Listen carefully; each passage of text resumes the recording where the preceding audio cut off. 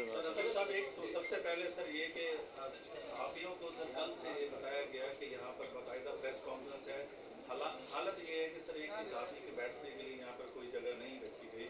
متعدد بار یہاں پہ ان کو کہا گیا، آپ کے آنے سے پہلے بھی۔ کہ ہمیں بیٹھنے کی مناسب جگہ دی جائے تاکہ یہاں پر بیٹھ کے سوالات آپ کا مطالبہ صحیح ہے انشاءاللہ آئندہ کے لیے۔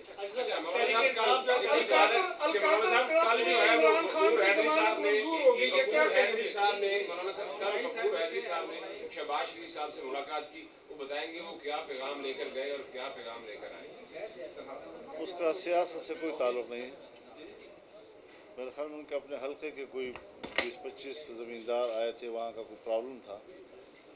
تو اس کے لیے وہ شاید گئے تھے ان کے ساتھ۔ سر تحریک انصاف تحریک چلانے کا ارادہ رکھتے ہیں لیکن دیکھ آپ کی طرف رہی ہے۔ پھر آپ کیا کیسا رسپانس دیں گے؟ بھائی وہ تو ارادہ رکھتی ہے ہم تو شروع کر چکے ہیں جی۔ تو ہم سے اپنی بات کرو نا۔ ہمارا میرے خیال میں آپ کی نظر میں کوئی حیثیت وقت نہیں ہے۔ اور ساری زندگی خسارے میں رہو گی جب تک یہ کے ساتھ پیپلز پارٹی کی پوزیشن کیسے دیکھ رہے ہیں؟ اس وقت آئینی عہدے انہوں نے لے لیے گورنر بھی لے لیے۔ اور اس کے بعد بھی جو ہے وہ مہنگائی اس قدر زیادہ ہے، دیگر معاملات ہیں سر، اور وہ بھی اس میں الیکشن میں جو دھاندلی ہوئی ہے، اس پر فرنٹ فٹ پہ وہ بھی سامنے آپ کے کوئی حضرت، جس طرح کے الیکشن کے نتائج سامنے آئے ہیں، اس پر بڑا دو ٹوک موقف صرف جمعیت علماء اسلام کا سامنے آیا ہے۔ اور ہم نے جس طرح دو ہزار اٹھارہ میں داندھی کے خلاف موقف لیا تھا، ہم آج بھی کسی مصلحت کا شکار نہیں ہوئے۔ حالانکہ ہمیں دعوت بھی دی گئی۔ بار بار ہمارے پاس تشریف بھی لائے۔ لیکن ہم نے کہا جی اسی مینڈیٹ کے ہوتے ہوئے پچھلی دفعہ ہم نے گاندھی کہا آج کیسے قبول کر سکتے ہیں جی۔ تو صاف ظاہر ہے جی کہ اس وقت بھی کوئی پی ٹی آئی کے ساتھ ذاتی دشمنی نہیں تھی۔ اگر ہم کوئی اپنے پرائے والی سیاست کرتے، تو آج ہم مسلم لیگ کے ساتھ حکومت میں شریک ہو جاتے۔ تعلقات بھی اچھے ہیں اور ایک لمبی جدوجہد بھی ہم نے مل کر کی ہے۔ اس وقت جو حکومت ہے، وہ حکومت مجھے نہیں لگتا کہ وہ ڈلیور کر سکے گی جی۔ اور حالات بھی ایسے نہیں ہیں کہ جس طرح کی اسمبلی ہے، یہ انتہائی کمزور اسمبلی ہے۔ اور حکومت بھی، میں تو نہیں سمجھتا کہ کوئی اکثریت ملک پر حکومت کر رہی ہے، بلکہ مسلم لیگ کی تعداد حکومت کر رہی ہے اور پیپلز پارٹی جو ہے، وہ حکومت کا حصہ نہیں ہے۔ بس یہ ہے کہ حکومتی بینچوں میں بیٹھی ہوئی ہے اور اگر کبھی تکلیف ان کو محسوس ہوئی تو پھر ان کی مرضی ہے تکلیف دور کرے یا تکلیف میں اضافہ کرے۔ یہ نہیں کہ ضروری کہ وہ ختم کریں گے اس کی گے؟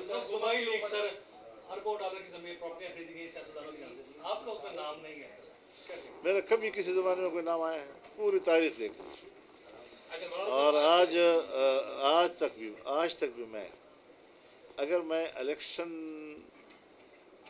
کے کاغذات نامزدگی داخل کرنے کے لیے اپنے ڈی آئی خان یا ٹانک کے مقامی کورٹ پہ نہ جاتا، تو مجھے یہ بھی نہ معلوم ہوتا کہ کورٹ کا نقشہ کیا ہوتا ہے حالت تو زندگی بھر عدالت میں اللہ تعالیٰ نے بچایا ہے اور اللہ تعالیٰ آخرت میں بھی بہتری کرے گا انشاءاللہ۔ مولانا صاحب، آج سے تین سال پہلے آپ نے ایک لانگ مارچ جو سکر سے کیا تھا، بڑا ایک بڑا لانگ مارچ یہیں پہ آپ سے جب گفتگو ہوئی تھی تو آپ نے کہا تھا کہ ہم کچھ رزلٹ لے کے واپس آئیں گے، پھر آپ اسلام آباد میں پڑاؤ کیا اور پھر آپ خالی ہاتھ واپس آئے اس یقین دہانی پہ کہ تین سال قبل جو فروری آئے گا، اس میں باجوہ صاحب نے آپ کو یقین دہانی کروائی مختلف حلقوں میں کہ ختم ہو جائے گی عمران خان کی حکومت، جس کے اوپر آپ واپس آئے، لیکن اس طرح سے نہیں ہوا۔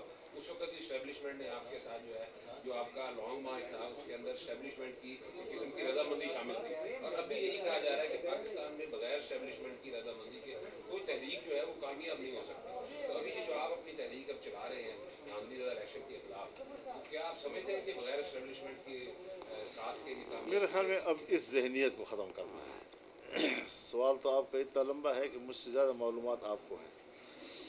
لیکن اس ذہن کو ختم کرنا ہے کہ کیا ہم ملک میں اسٹیبلشمنٹ کے رضامندی کے بغیر کوئی تحریک نہیں چلا سکتے کیا ہمارا ہر الیکشن ان کی مرضی سے ہوگا؟ کیا ہمارے ہر الیکشن کا نتیجہ ان کی مرضی سے ہوگا؟ اس کے خلاف جنگ لڑنی ہے۔ اور اگر قوم نہیں اٹھے گی اور قوم اپنے اس ووٹ کو تحفظ نہیں فراہم کرے گی، تو پھر ہم مسلسل غلامی کی طرف جا رہے ہیں۔ اور ایک سرکاری محکمہ، وہ ہمارا حاکم ہو۔ اور ہم جو آئین میں حکمران کہلاتے ہیں، پارلیمنٹ جو حکمران کہلاتی ہے، وہ ماتحت ادارے کی شکل اختیار کر لے، یہ چیز کسی قیمت پر ہمیں قابل قبول نہیں ہے۔ اب ہم اپنی جماعت کے طور پر ہم نے اب تک تین جلسے کیے، تین عوامی اسمبلیاں کی ہیں۔ اور عوام کا جو اس پہ رد عمل تھا، بہت ہی حوصلہ افزا تھا۔ اور انشاءاللہ آپ یکم جون کو مظفر گڑھ میں بھی اسی طرح کا عوام کا ایک رد عمل دیکھیں گے، کس طرح وہ اس جلسے میں آتے ہیں۔ اور یہ ہوتا ہے کہ آپ اپنا موقف جو ہے وہ دنیا کے سامنے بھیج رہے ہیں۔ اور انشاءاللہ اس میں ہم کوئی کمی نہیں دکھائیں گے میرے خیال میں حکومت ہے ہی نہیں۔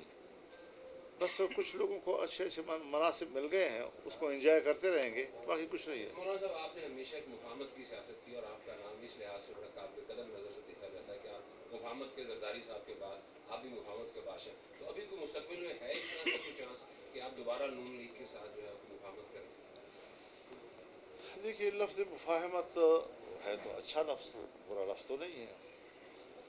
لیکن، جب اپنے ہی چھوڑ کے چلے جائیں، تو پھر یہ ہے، وہ وقت کے ہم اپنے موقف پہ ڈٹے رہیں اور انشاءاللہ قوم ہمارے ساتھ ہے اور رہے گی انشاءاللہ اور اس ملک میں ظاہر ہے کہ ہم تو جب جمہوریت پہ یقین رکھتے ہیں، جب آئین کا ہم نے حلف اٹھایا ہوا ہے، تو پھر آئین کو بارادست ہونا چاہیے، آئینی اداروں کو بارادست ہونا چاہیے۔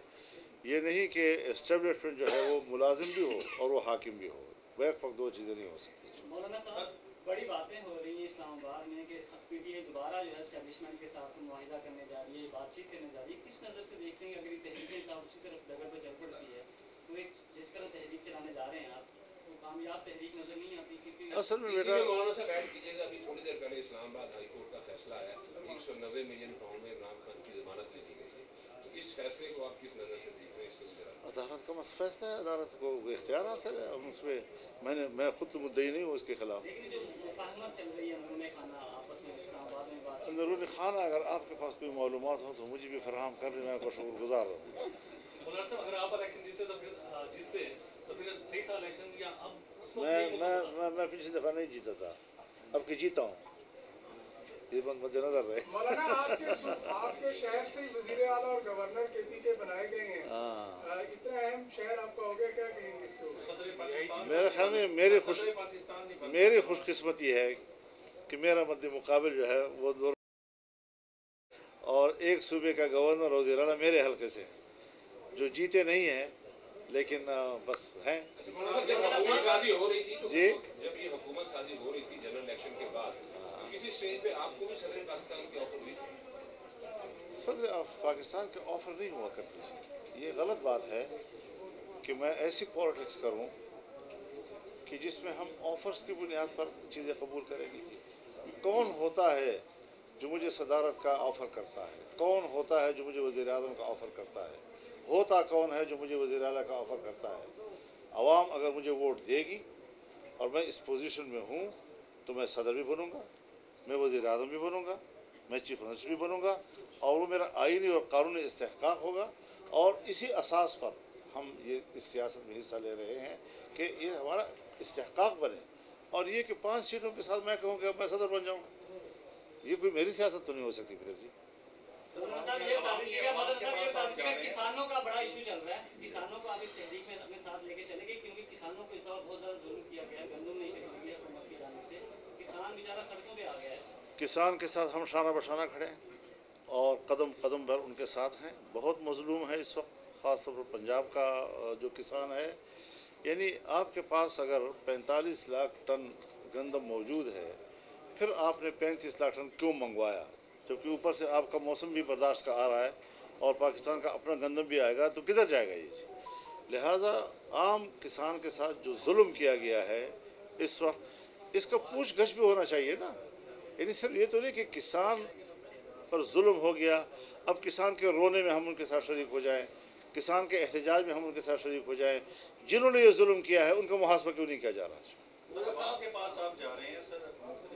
سے کر رہے ہیں، یہ بتائیے کہ سر ماضی کے تناظر آپ ٹارگیٹ سیٹ کیا کیا اچیو کرنا چاہتے ہیں سر ماضی کے تناظر حضرت، جو ہمارے مطالبے ہیں کہ اثر نو الیکشن ہو، حکومت مستعفی ہو جائے اور فوج الیکشن سے دور رہے، کسی ایجنسی کا الیکشن سے کوئی تعلق نہیں ہوگا۔ الیکشن کو اتنا بدنام کر دیا ہے کہ اس کو الیکشن کہنا ہی ناجائز ہے۔ الیکشن کہنا اس کو ناجائز ہے، جہاں پر امیدواروں سے کروڑوں کروڑوں روپے لیے جاتے رہے ہوں، جہاں ایک ایک صوبے سے اربوں اربوں روپے لے کے چلے چلے جاتے ہوں، جہاز بھر بھر کے جا رہے ہوں، اسمبلیاں بک رہی ہیں اور کینڈیڈیٹ بیچارے در بدر ہیں۔ تو یہ یہ الیکشن ہوتا ہے جی۔ ہم مطمئن ہوں گے اس بات پر کہ ہاں ہم واقعی پارلیمنٹ کے ممبر ہیں اور ہم کیا ملک کے اندر ایک وی آئی پی کا اس وقت اسٹیٹس رکھتے ہیں؟ اس حوالے سے ہمارا موقع بڑا واضح ہے اور ہم جو کچھ کہہ چکے ہیں، انشاءاللہ اسی جگہ پہ معاملات کو پہنچائیں گے کہ معاملات ٹھیک ہو جائے ملک مولانا صاحب، عالمی جو سیاست ہے، اس پہ بھی آپ کی بڑی گہری نظر ہے۔ آج سے دو روز قبل ایران نے انڈیا نے ایران کی چاہ باہر جو پورٹ ہے، اس کا دس سال کے لیے جو ہے، وہ لے لیا، اس کا قبضہ لیا ہے اور دس سال کا ایگریمنٹ ہوا ہے۔ آپ اس کو کس نظر سے دیکھتے ہیں جبکہ امریکہ نے ہمیں تو منع کیا ہے پابندی کی وجہ سے کہ آپ آگے نہیں جا سکتے، کچھ تجارتی معاہدہ نہیں کر سکتے۔ تو اس دور میں انڈیا کا اس کے ساتھ معاہدہ اور دس سال کے لیے حضرت ہاں، ایک تلخ سوال ہے جو آپ نے کیا ہے، اور دکھ ہوتا ہے انسان کو۔ نکلے تھے ہم سری نگر کو لینے کے لیے۔ ہاتھ سے جا رہا ہے مظفر آباد۔ یہ پالیٹکس ہے ہماری۔ ہم نے چین جیسے دوست کے ساتھ اتنا بڑا معاہدہ کیا میگا پروجیکٹس کے حوالے سے، اور اس نے پاکستان کو پرائرٹی دی گرم پانی تک پہنچنے کے لیے۔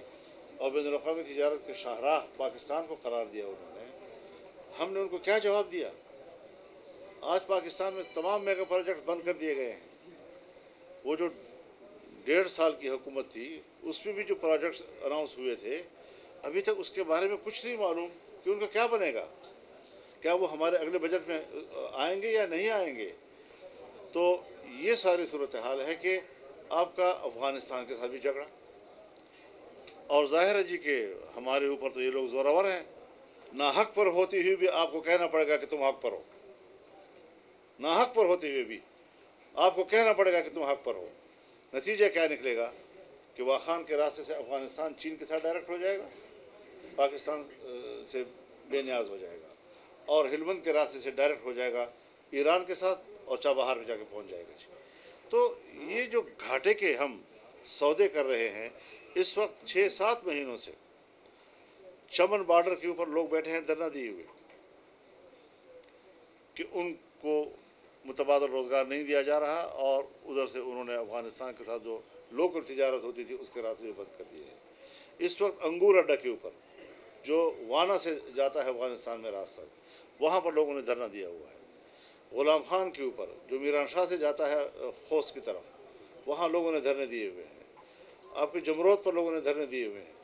تو ہم نے تو ان کو باقاعدہ بریف کیا تھا کہ پاکستان کو اتنی بڑی اپرچونٹی مل رہی ہے آنے والے مستقبل میں کہ اگر یہ سی پیک خیبر پرسنخوا اور پھر بلوچستان کے روب سے لے کر گوادر تک جاتا ہے، تو نو گیٹ ویز ہیں جو پاکستان کو افغانستان کے راستے سے وسط ایشیا کا راستہ دکھاتے ہیں۔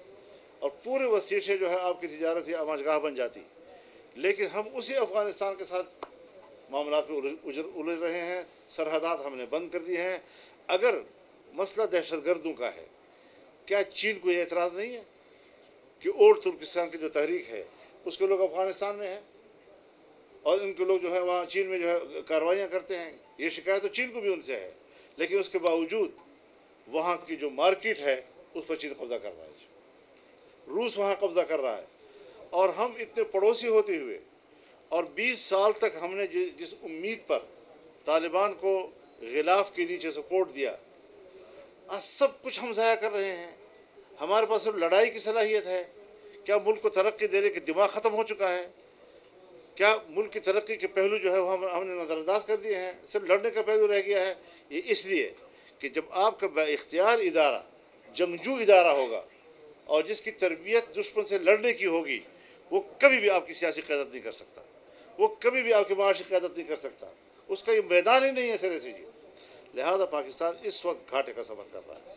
اس کا گھاٹے کا مستقبل ہے اور کیا جائے لیکن ہم اپنی آواز جو ہے اس حالات میں